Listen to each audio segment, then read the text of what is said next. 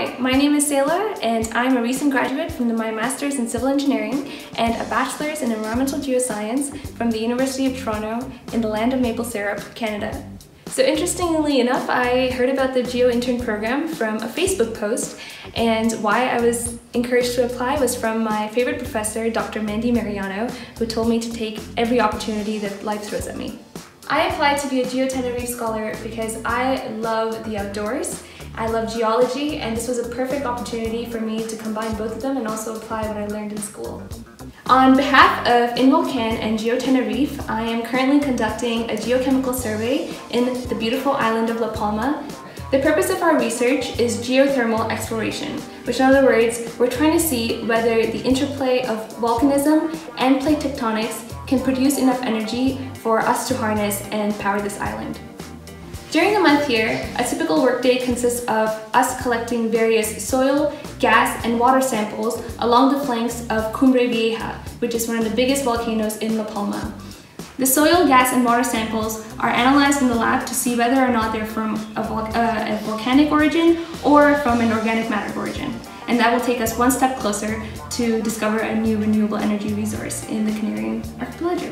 Two specific ga gases that we're interested in here in La Palma are radon and carbon dioxide.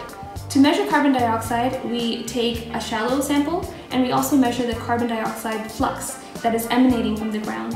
And this, will, and this is later analyzed in gas chromatography to see whether or not this is from a volcanic origin or if it's from organic matter decay.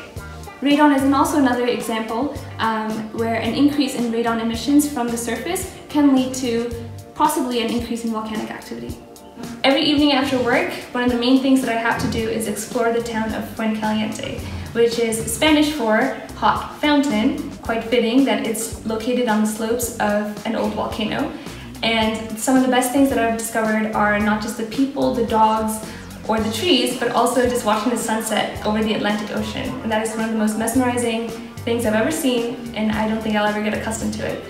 Every weekend, I've had the pleasure um, of doing various extracurricular activities organized by InVolcan and GeoTenerife. Um, we've done everything from caving in lava tubes to sea excursions with bottlenose dolphins and whales, and one of my personal favorites is stargazing above the clouds beside the world's biggest telescope. And another experience, and this is much more personal, is to take advantage when you're in a non-native country to try and use the native language there and try to avoid and put aside English. Um, you're never going to get an experience like this to learn Spanish, so personal, so intimate, and, um, and it's, it's a great opportunity. I would recommend this program to all young scientists, but in particular recent graduates such as myself. One of the biggest advice I can give to future geo interns and scholars is um, when you're at that milestone of finishing your graduate studies, don't commit to something big such as a PhD or a full-time job. Instead, dip your feet into temporary positions. And what better place for a young geologist to discover himself than on a volcanic rock in the middle of the Atlantic Ocean.